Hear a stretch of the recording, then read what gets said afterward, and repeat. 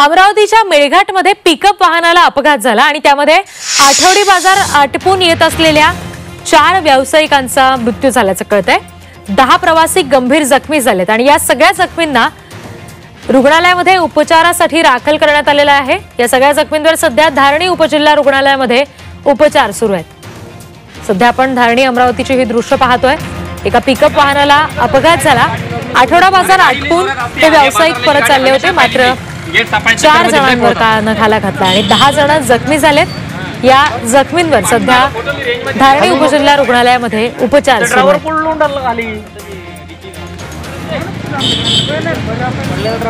छत्रपतींचा विचार. म्हणजे